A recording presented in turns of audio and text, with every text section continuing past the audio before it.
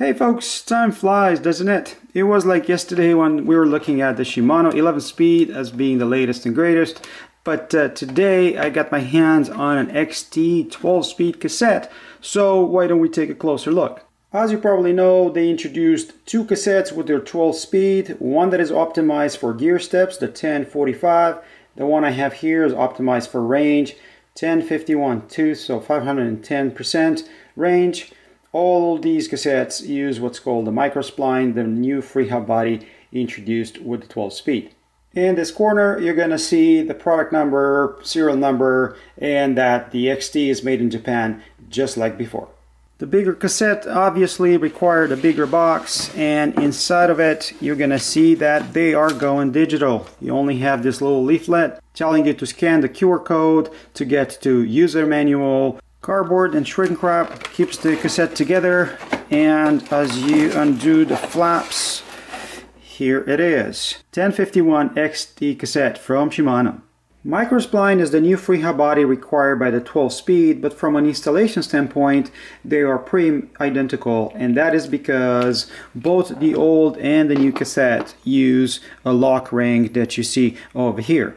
That is another reason why they come in uh, very similarly installed on a plastic tube like that that makes actually the installation quite easy. The lock ring on the 12 releases the 10 and 12 tooth cogs. The rest of them are on that same tube. You can see here the two biggest cogs are made out of aluminum just like the 1146 XT and if you remove this tab just pull on it here on the back, you will be able to slide out the rest of the cogs.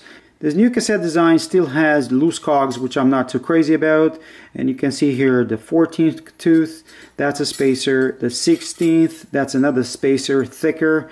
And finally the 18th tooth. So you have five loose cogs on the XT cassette and two spacers. All the cogs are made out of steel, forged steel, for which Shimano has a really good formula, as you know. And again, the 45 and the 51 tooth are made out of aluminum.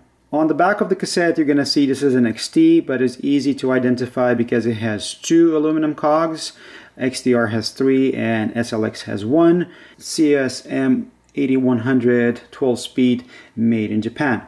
The only other thing that's new here is the spider design. This is called the beam spider, which is hollow in the middle and it makes room for all those rivets to hold the cogs together. Also the way it touches the spline is different. You can see you have touch points here at the beginning of the spider and at the end of it with the machined out portion right in the middle. The old spiders were a solid piece of aluminum and you usually had two spiders in a cassette. The spec sheet weight of the cassette is 470 grams. That's exactly what I have on my scale. That is comparable, if not slightly heavier, than a GX SRAM GX Eagle, which is 448. They are identical starting with the 10 tooth cog all the way up to the last four. That is where this one has 33, 39, 45, and 51 as opposed to 32, 36, 42 and then a bigger jump here to the 50 tooth cog.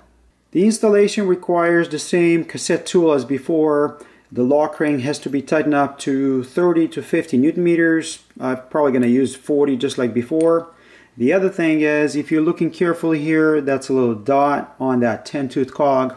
You see a corresponding dot here on the 12 tooth cog well you have to line them up when you install the cassette because this little guy the 10 speed actually uh, locks onto the 12 tooth cog and not onto the free hub body at all. The only other gotcha is that the spacers used between the 14 16 18 cogs one is really thin the other one is thicker as you see it over here However, if you're just installing straight out of the box, you only have to worry about lining up the 10 and 12 tooth cogs. This holding tube and the tab is cleverly designed by Shimano to help with installation.